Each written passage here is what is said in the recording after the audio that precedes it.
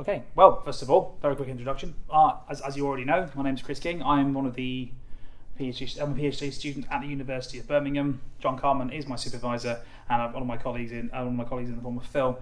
Um, today, within my within this presentation, I hope to show you a little bit of, of the study I've been doing into battlefield landscapes and the relative significance of battlefield or battlefield landscape features to given armies, but also hopefully trying to uh, broach the excuse me the broach the theoretic so the theoretical idea that we should be looking at the distinct approaches to the utilization or not utilization of given landscape features within battlefields.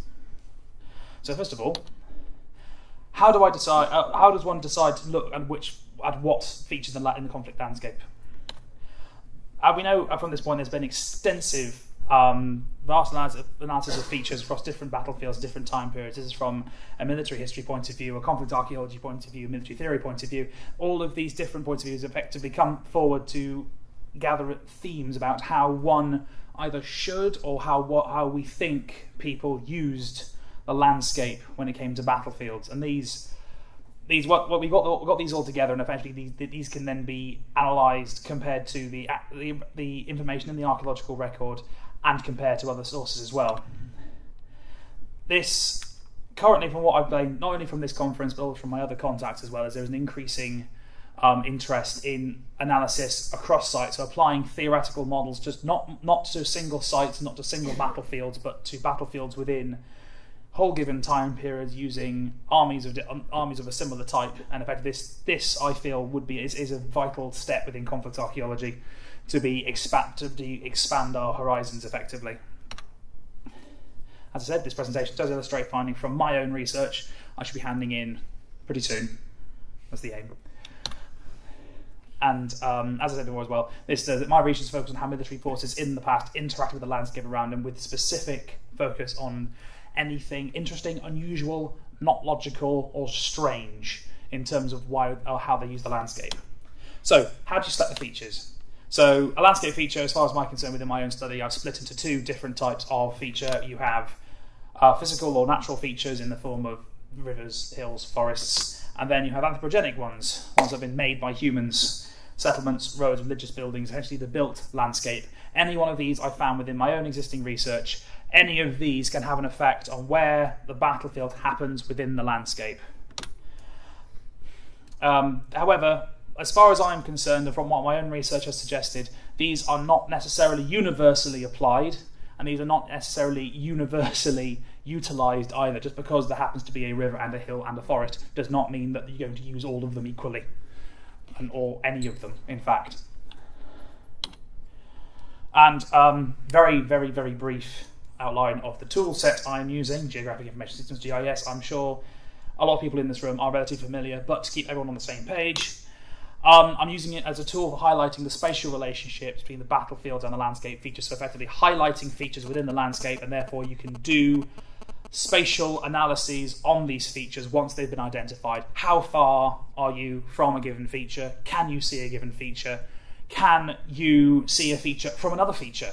Any anything like that can be done within the GIS space. It's done by layering data on top of the other, well, on top, all the data on top of each other, effectively contextualizing data with additional data to make to answer to answer questions.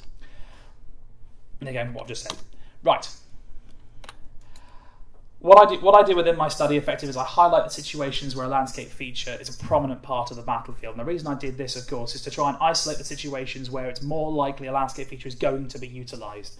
So therefore, it means that we can analyze, excuse me, you can better analyze how a force or how a how a group of forces react to a landscape feature if you know that there's a prominent landscape feature on that battle site. So in this case, with an extreme spatial relationship, either you're particularly close or you're particularly far from a given landscape feature.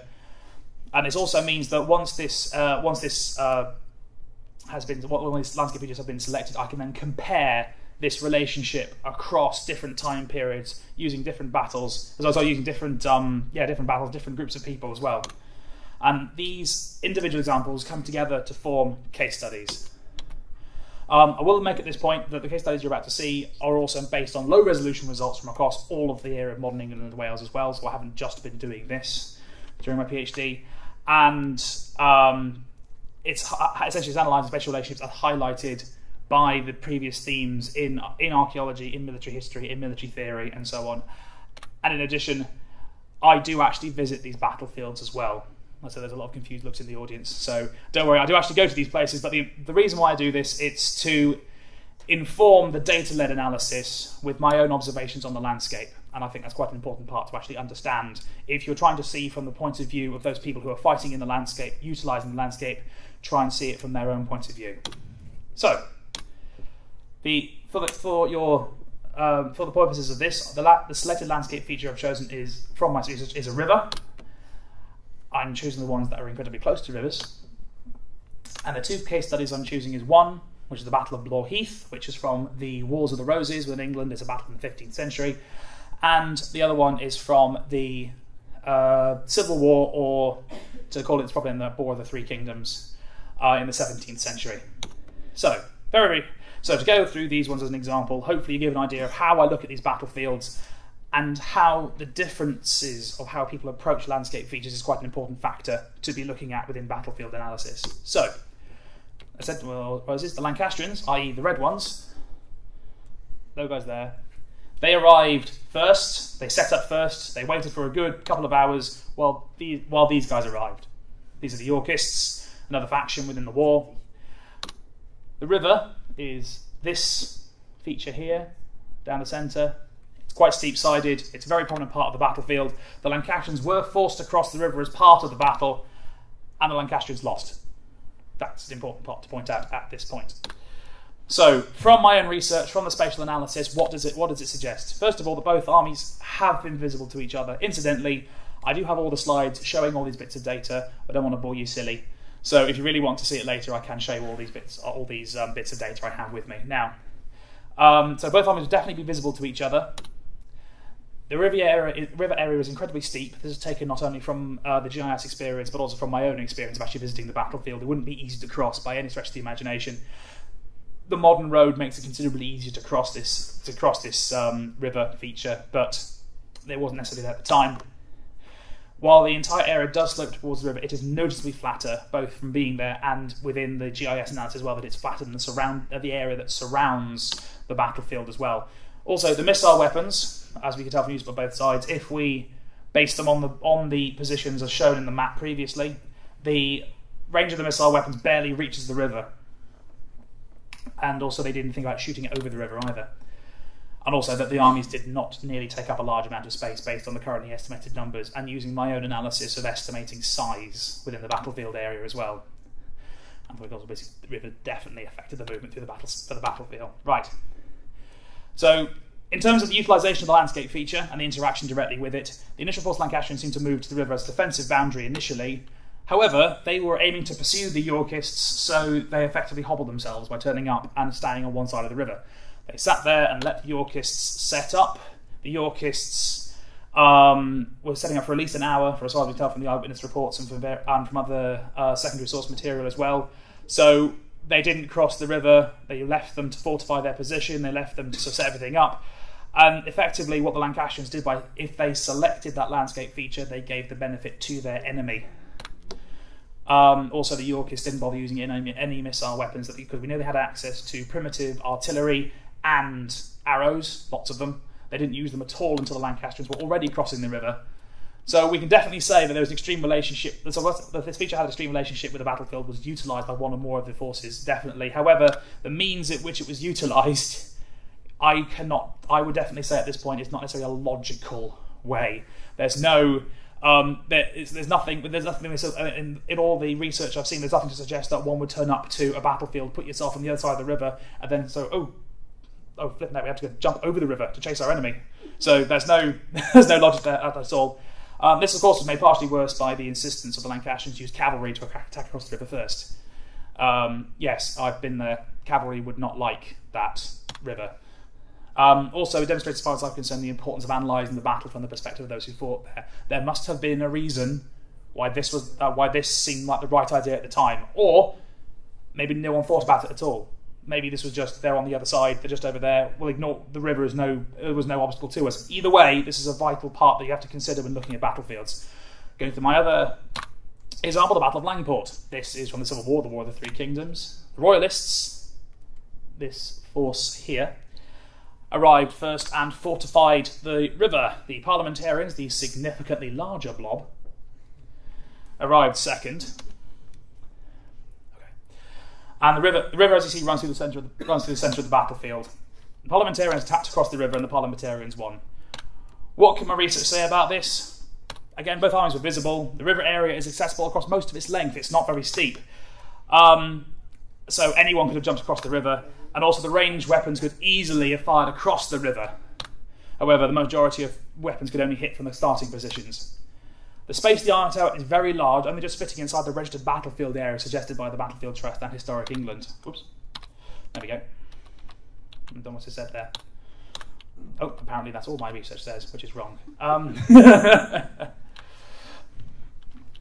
well, what the rest what the rest of the slide would say uh, is that the is effectively that even though yes, well, I can go with this one. Even though the, they seem to move as a defensive boundary initially, despite having large amounts of artillery on both sides, and we know the parliamentarians definitely had an advantage of artillery because they were able to fire on the uh, parliamentarian positions, they still insisted on going across the river and uh, force and forcing their way across the other side of the river with cavalry again. So obviously, there's very much a so very much a drive to use cavalry, even though cavalry is not necessarily needed. Thus, we can say this feature had an extreme relationship with the battlefield. It was like one more forces. The force did utilise this landscape feature in a very logical way. However, well, it's a very logical way, in a logical way. However, still with this in mind, cavalry still played a major role in taking the river crossing, even though it wasn't needed. And it highlights that even when forces apply widely accepted logic to utilisation of landscape features, there are still elements distinct to the time period. Why would? What's the point of all this? What advantage does this give? It highlights the, under, the need to understand a given period's distinct approach to warfare, distinct approach to seeing the landscape and utilising troops within that landscape. Not just because of technology, not just because of access to different troop types, but also because mentality and approach to warfare can be different, and understanding that that is, a, that is the case. Um, there is current trend within conflict, uh, within, within, the studies of conflict, is to focus on individual individual studies within individual battlefields. It's by no means a universal trend, but it is quite a lot a large trend, and it effectively tries to pull that apart slightly and spread that to different conflict sites, to different conflict sites, and across um, across a whole time period if possible. Also, understanding and also noting that the approach to the use of the landscape feature, at least, at least within these two case studies, does, does appear to be different, which suggests, therefore, that the approaches to the utilization or not utilization of landscape features between different time periods and between different uh, uh, between different groups of people does change. Whether that's whether that's because of you know the weather, the sun, the fact that one of them prayed that morning and one of them didn't, we don't we don't know, but it's important to, mem- important to take that into account when looking at a battlefield, and it's important to then incorporate that into the understanding of the narrative. Also, for example, as shown by my uh, colleague um, Ellie's presentation, it's also useful when applied to battles we know little about them, because we don't know necessarily the um, we don't know anything about what what their what the opportunities they had to take certain parts of the battlefield, whether they saw some parts of the battlefield be more defensive or not. But utilizing this um, data-led approach combined with other uh, combined with other disciplines and with other approaches as well is very important to trying to understand the full narrative. Even simply knowing just how much room soldiers take up on the battlefield, which I've done through my own research, both in my master's and in my PhD, in terms of looking at that. It's even just that little thing. It's quite important understanding just how they saw the landscape. So, don't worry, I'm wrapping it up. Don't worry about it. um, what can we say? What can we say about this, and what I think it adds to it? So this study finds that, so essentially adds to the field of conflict studies by providing empirical data on elements within the conflict landscape. I choose to interpret the, this data based on my own knowledge and my own research. The data that can be provided by this approach and by the approaches like it um, is entirely is entirely empirical. So we can interpret from it what we can, but it's important to take this nonetheless taken into account. This can lead to better interpretation on the actions within a given battle and also forces how forces interacted with the wider conflict landscape. This is not only features, but potentially also roads, other forces, other features in the landscape that may not have been considered part of the battle, such as religious buildings or the, the settlement being within three miles of you. Something we would not normally consider to be part of the battlefield space, but nonetheless will be taken into account by those taking part. And studying areas such as this highlights the links between conflict and the inherent social societal groups involved because fundamentally we are dealing with people. We are not dealing with people. We're not dealing with um, just agents within a simulation who who fundamentally are controlled and programmed by us. These are people with their own thoughts, feelings, um, phobia of hills. You never know. So, thank you, thank you very much, and special thanks, of course, to John as my supervisor and Phil for having run this with me. Thank you very much.